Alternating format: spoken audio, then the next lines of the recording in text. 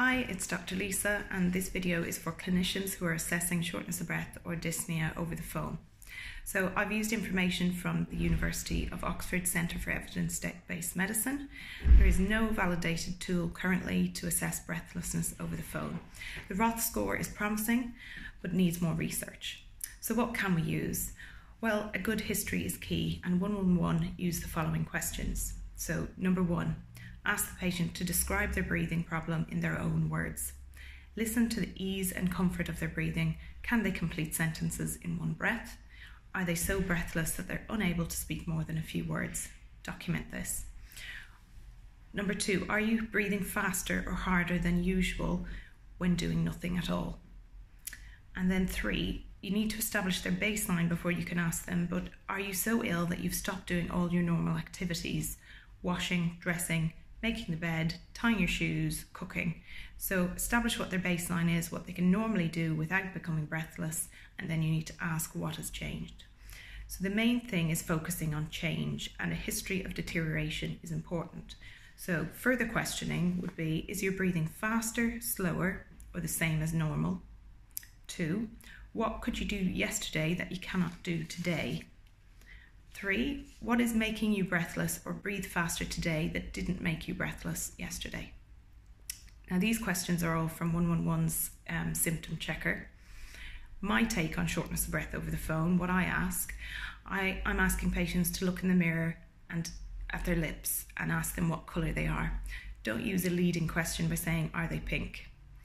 Um, two, can you walk across the room and back and would this normally make you short of breath? So ask the patient if it's safe to do so and their mobility permits to walk across the room and back to where they were sitting, and you'll also hear what their breathing rate does, what they're if they're wheezing, um, and ask them how they feel.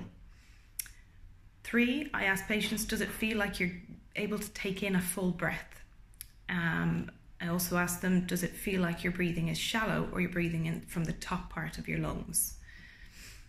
Don't forget to ask about chest pain or pain when taking a deep breath. Uh, we need to make sure we're ruling out PEs and MIs, as people who are isolating will be moving less, and we need to keep this at the forefront of our mind also. Um, remember to ask about wheezing.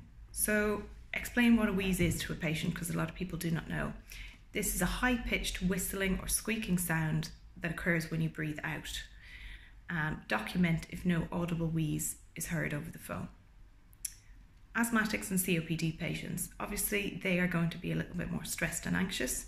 So you need to establish their baseline, how often they normally use their reliever. So if you're speaking with an asthmatic, if they normally use it once a day or just once a week, and suddenly that's increased to four to five times a day, this would be an indication that their breathing is strained and worsened. Ask them how many times they're using it and is it giving them relief. Encourage all patients with breathing problems to take a few full deep breaths few times a day to help expand the base of their lungs. Go over their personal asthma action plan, and this is important what's on their notes because you'll know what step in their asthma treatment they're on, and try and send this as a, as a text to the patient. Issue a spacer to elderly patients who may not use inhalers properly because this means they'll get more of the drug delivered into their lungs. Advise all asthmatics that they can take up to 10 puffs of their inhaler at once which equates to a nebulizer.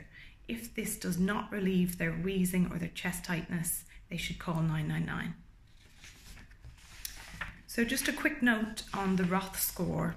This is used to assess oxygen saturations. It is not validated, but is promising. So how do we do it? Ask the patient to take a deep breath in. As they breathe out, count 30 in their own language out loud. You need to have a timer ready, and if the patient takes a breath at 8 seconds or less, this indicates saturation levels of less than 95%. And this test has a sensitivity of 78% and specificity of 71%. So make your own choice whether you want to use it or not or rely on it. There are also some apps on iPhones for oxygen saturation levels, but these have not been validated or approved. Some practices are sending out some kits with pulse oximeters um, and a thermometer and leaving it outside the door for the patient to take in, do their readings. Nurse waits outside until they've done them and then it gets decontaminated between patients. Hope you find this helpful and best of luck, everyone.